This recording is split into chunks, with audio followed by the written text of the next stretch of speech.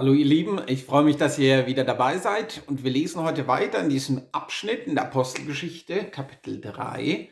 Ich will das nochmal wiederholen, Vers 4 oder ab Vers 4. Da blickte ihn Petrus zusammen mit Johannes an und sprach, sieh uns an. Er aber achtete auf sie in der Erwartung, etwas von ihnen zu empfangen, ein Almosen. Da sprach Petrus, Silber und Gold habe ich nicht nun, in dem Moment war der ähm, Lahme sicherlich sehr enttäuscht. Sieh uns an, ach, hm, haben nichts, was wollt ihr überhaupt? Aber was ich habe, jetzt kommt neue Hoffnung, das wollen wir dir geben. Im Namen Jesu Christi des Nazareners, steh auf und geh umher. Und er ergriff ihn bei der rechten Hand, richtete ihn auf, da wurden sogleich seine Füße und seine Knöchel fest und er sprang auf und konnte stehen, lief umher und trat mit ihnen in dem Tempel auf, ging umher, sprang und lobte Gott bis dahin. Wir haben uns gestern angeschaut, dass sie den Lahmen vor den Tempel gebracht haben, um da entsprechend ähm, Almosen, ähm, dass er da betteln konnte. Und dass es auch wichtig ist, dass es auch ein Teil unseres Auftrages ist, dass wir auch sozial unterwegs sind. Ähm, aber gleichzeitig ist die andere Seite der Medaille, was hier deutlich wird, Petrus und Johannes machen deutlich, Gold und Silber haben wir nicht. Und ich meine nicht, dass sie das nur symbolisch so sagen, sondern ich glaube, sie hatten in dem Moment tatsächlich nichts oder nichts dabei, wie auch immer. Aber das ist auch eine Begrenzung, die wir haben. Gemeinde ist ja dazu berufen, dass wir auch sozial ähm, unterwegs sind und uns da engagieren. Aber wir werden immer Mangel haben. Es wird nie genug sein. Jesus sagt einmal, ihr werdet immer Arme haben. Diese Welt ist kaputt, ist zerstört und wir sehen das auch global, wie schräg ähm, die Verteilung ist in so vielen Dingen. Nun könnte man meinen, ja, da müssen wir alles ändern und besser machen, aber die Bibel zeigt uns, dass das gar nicht unser Auftrag ist, weil der Mensch versucht das schon jeher aber er ist gefallen, er ist in Sünde und der Fürst dieser Welt wird alles tun, damit diese Ungerechtigkeit hier bleibt. So, das werden wir nicht ändern. Gold und Silber haben wir nicht.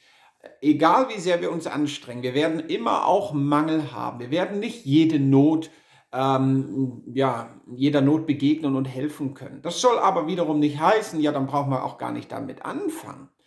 Was die Bibel uns hier zeigt, und das ist ein wichtiger Punkt, dass es nicht nur darum geht, irgendwie, ja, den Menschen zu helfen und sozial unterwegs zu sein, sondern es gibt etwas Größeres und Wichtigeres als das, nämlich das ewige Leben, die Rettung, die Kraft und Herrlichkeit und das Wirken Gottes in den Menschen. Und so spricht Petrus und spricht Johannes das an und sagt, wir haben das nicht, aber was wir haben, das wollen wir dir geben. Sie haben etwas, nämlich sie haben neues Leben, sie haben die Wiedergeburt erlebt, sie sind Kinder Gottes, er wohnt in ihnen, der Heilige Geist ist in ihnen, da ist etwas. Und das ist viel mehr als Gold und Silber. So ja, es ist gut, wenn wir Menschen helfen und auch ähm, spenden und, und Menschen Speise geben und, und Kleidung und all das ist wichtig. Aber das wird dem Menschen nur bedingt helfen. Für den Moment ist es gut, aber es gibt etwas Größeres und Wichtigeres, etwas Zentraleres, weil Jesus sagt, was bringt es dir, wenn du die ganze Welt gewinnst, aber dein ewiges Leben verlierst? Und so sprechen sie ihn an und sagen, was wir haben, das wollen wir dir geben. Zuallererst wird das, was sie hier haben, sichtbar, indem er aufsteht. Sie nehmen ihn bei der Hand in Jesu Namen das machen sie ganz deutlich. Es ist nicht ihre Kraft, es ist nicht ihre besondere Stellung. Nein, es ist in dem Namen Jesu, an den sie glauben und der in ihnen lebt. Steh auf und sie nehmen ihn an der Hand und dann kann er umhergehen. Er springt sogar, sagt die Bibel, er läuft mit ihnen umher. Ich glaube, es ist so wichtig, dass wir wissen, dass wir dazu auch berufen sind. Das eine ist das praktische Helfen, das andere ist, dass wir davon reden und verkündigen und das dritte ist, dass wir im Glauben es ähm, ergreifen. Jesus sagt, verkündigt das Evangelium in ganzer Welt, aber er sagt eben auch, heilt die Kranken, treibt Dämonen aus.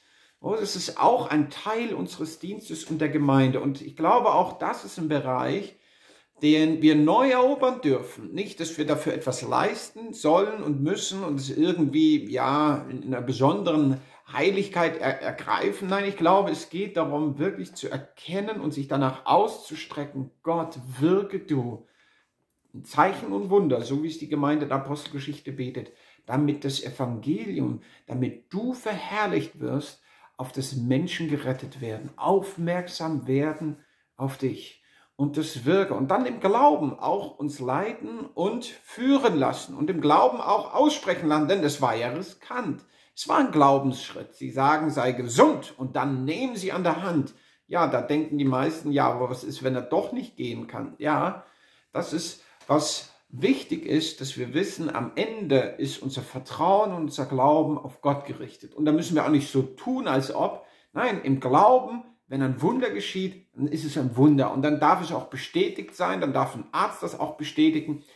Ich möchte uns einladen und ermutigen, dass wir auch als Kinder Gottes, als Gemeinden uns danach ausstrecken, dass genau das geschieht, dass wir uns bewusst machen, was haben wir denn? Ja, wir haben nicht immer Gold und Silber und alle Ressourcen, um die Nöte der Welt und der Nachbarschaft zu begegnen, aber wir haben etwas noch Größeres, etwas noch Herrlicheres, nämlich wir haben das ewige Leben und wir dürfen es verkündigen und wir dürfen auch die Auswirkungen dieses Sieges und des ewigen Lebens proklamieren und im Glauben ergreifen, dass Gott Menschen rettet, verändert, heilt, befreit, wiederherstellt und letztendlich Rettung bringt in die Leben hinein. Dieser Mann hier erlebte die Kraft Gottes, er war gesund, aber es bringt ihn nicht nur dazu zu jubeln und dann wegzugehen zu seinen Bekannten und Verwandten. Nein, die Bibel zeigt hier einen Schwerpunkt, nämlich er hat nicht alles verstanden, das sehen wir dann, wenn wir weiterlesen, aber ein Punkt, Gott hat ein Wunder getan in meinem Leben. Und das ist das Entscheidende. Gott soll die Ehre bekommen. Um ihn geht es. So seid gesegnet und morgen sehen wir uns wieder.